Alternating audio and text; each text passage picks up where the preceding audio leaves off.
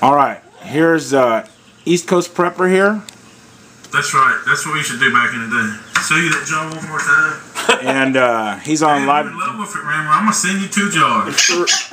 Right there, right there. I'm gonna eat that. Send it to me, East Coast. That even sounds like shit.